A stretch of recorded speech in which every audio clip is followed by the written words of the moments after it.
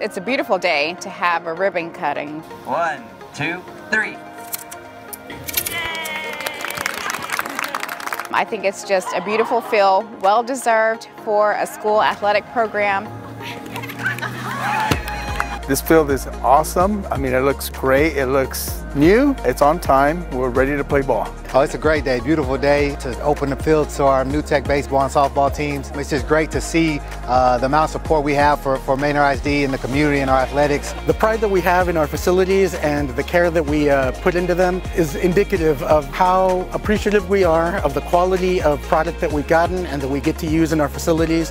Thank you very much for doing such great work. All of the design elements that uh, we've seen here in all of our facilities are top notch. We are all over at Manor ISD just jumping up and down. We are so excited that our athletes are going to be able to utilize these beautiful fields.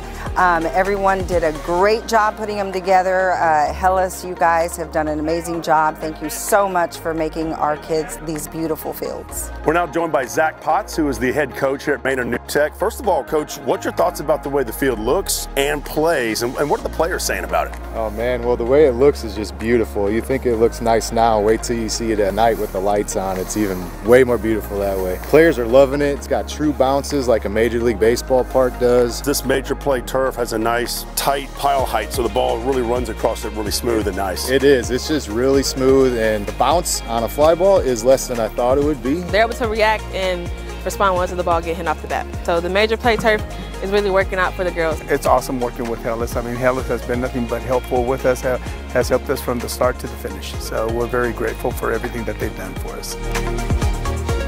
Hellas, building for sports from start to finish.